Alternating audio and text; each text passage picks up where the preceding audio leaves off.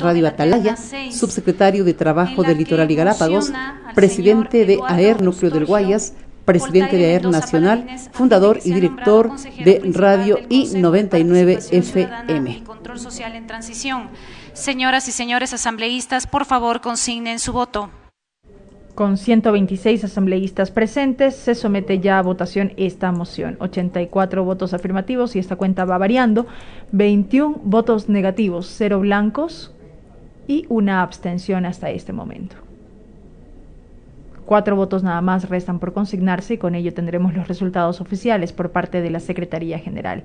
Los votos afirmativos ya llegan a 101, 23 negativos y dos abstenciones. Señor operador, presente los resultados. 101 votos afirmativos, 23 negativos, 0 blancos, 2 abstenciones.